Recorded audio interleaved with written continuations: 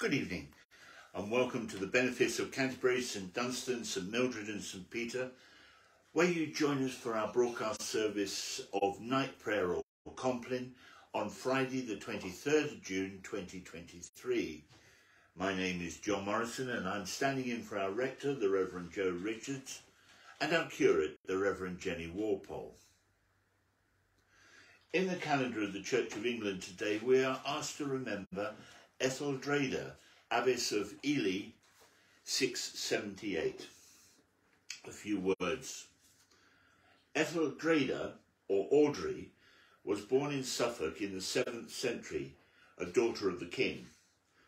She desired to commit her life to prayer and chastity, and after two arranged and unconsummated marriages, founded a religious house at Ely for both men and women, over which she ruled as abbess.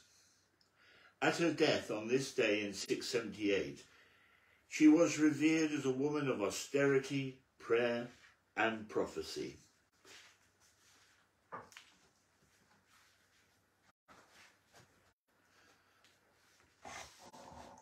The Lord Almighty grant us a quiet night and a perfect end. Amen. Our help is in the name of the Lord who made heaven and earth.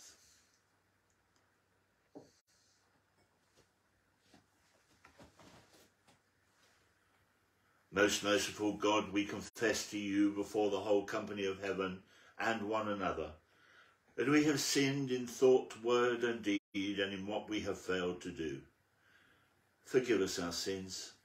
Heal us by your Spirit and raise us to new life in Christ. Amen. O God, make speed to save us. O Lord, make haste to help us. Glory to the Father, and to the Son, and to the Holy Spirit, as it was in the beginning, is now, and shall be forever. Amen. Alleluia. Before the ending of the day, Creator of the world, we pray that you with steadfast love would keep your watch around us while we sleep from evil dreams defend our sight, from fears and terrors of the night. Tread underfoot our deadly foe, that we no sinful thought may know. O Father, that we ask be done through Jesus Christ, your only Son, and Holy Spirit, by whose breath our souls are raised to life from death. The refrain for Psalm 139, verses 1 to 18, is Search me out, O God, and know my heart. Search me out, O God, and know my heart. O Lord, you have searched me out and known me. You know my sitting down and my rising up. You discern my thoughts from afar. You mark out my journeys and my resting place, and are acquainted with all my ways. For there is not a word on my tongue, but you, O Lord, know it altogether. You encompass me behind and before, and lay your hand upon me. Such knowledge is too wonderful for me, so high that I cannot attain it. Search me out, O God, and know my heart. Where can I go then from your spirit? Or where can I flee from your presence? If I climb up to heaven, you are there. And if I make the grave my bed, you are there also.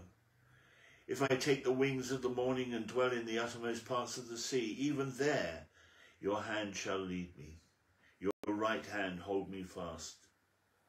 If I say, surely the darkness will cover me and the light around me turn to night, even darkness is no darkness with you. The night is as clear as day. Darkness and light to you are both alike. Search me out, O God, and know my heart. For you yourself created my inmost parts. You knit me together in my mother's womb. I thank you, for I am fearfully and wonderfully made. Marvellous are your works, my soul knows well. My frame was not hidden from you when I was made in secret and woven in the depths of the earth. Your eyes beheld my form as yet unfinished. Already in your book were all my members written as day by day they were fashioned, when as yet there was none of them.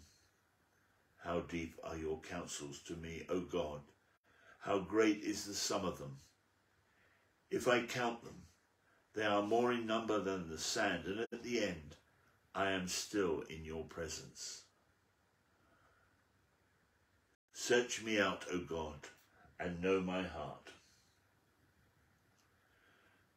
Creator God, may every breath we take be for your glory. May every footstep show you as our way, that trusting in your presence in this world, we may beyond this life still be with you, where you are alive and reign for ever and ever. Amen. Glory to the Father and to the Son and to the Holy Spirit, as it was in the beginning, is now, and shall be for ever. Amen. Our short scripture reading is taken from the first book of uh, first letter to the Thessalonians, chapter 5, verses 9 and 10. God has destined us not for wrath, but for obtaining salvation through our Lord Jesus Christ, who died for us, so that whether we are awake or asleep, we may live with him. Into your hands, O Lord, I commend my spirit. Into your hands, O Lord, I commend my spirit. For you have redeemed me, Lord God of truth. I commend my spirit. Glory to the Father, and to the Son, and to the Holy Spirit. Into your hands, O Lord, I commend my spirit. Keep me as the apple of your eye. Hide me under the shadow of your wings. The Nunc Dimittis the Song of Simeon is our gospel canticle this evening. Save us, O Lord, while waking and guard us while sleeping, that awake we may watch with Christ and asleep may rest in peace. Now, Lord, you let your servant go in peace. Your word has been fulfilled. My own eyes have seen the salvation which you have prepared in the sight of every people a light to reveal you to the nations and the glory of your people Israel. Glory to the Father and to the Son and to the Holy Spirit, as it was in the beginning, is now, and shall be forever. Amen. Save us, O Lord, while waking, and guard us while sleeping, that awake we may watch with Christ, and asleep may rest in peace.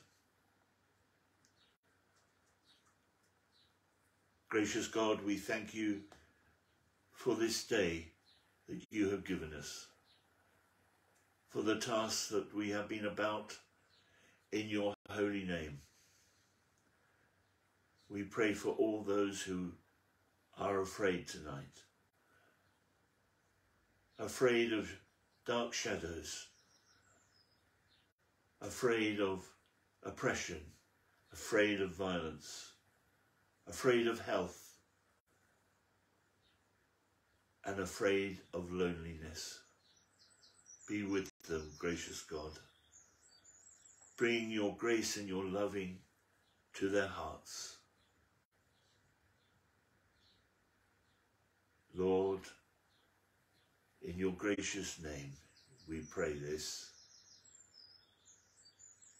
Almighty God, by whose providence your servant John the Baptist was wonderfully born and sent to prepare the way of your Son, our Saviour, by the preaching of repentance. Lead us to repent according to his preaching and after his example, constantly to speak the truth, boldly to rebuke vice, and patiently to suffer for the, for the truth's sake.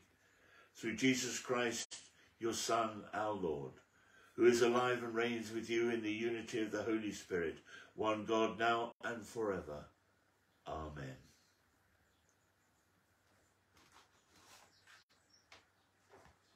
Let us pray with confidence as our Saviour has taught us.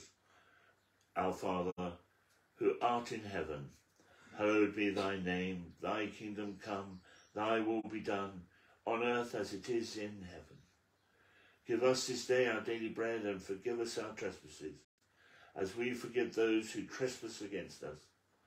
And lead us not into temptation, but deliver us from evil. For thine is the kingdom, the power, and the glory, for ever and ever. Amen. In peace we will lie down and sleep, for you alone, Lord, make us dwell in safety. Abide with us, Lord Jesus, for the night is at hand and the day is now past. As the night watch looks for the morning, so do we look for you, O Christ. The Lord bless us and watch over us. The Lord make his face shine upon us and be gracious to us. The Lord look kindly on us and give us peace. Amen. Thank you for joining us for our service of night prayer and compline. My colleagues will be with you tomorrow morning at nine o'clock uh, for a broadcast service of the Benefice morning prayer and again at six o'clock for night prayer and compline. Have a safe and comfortable night. Good night.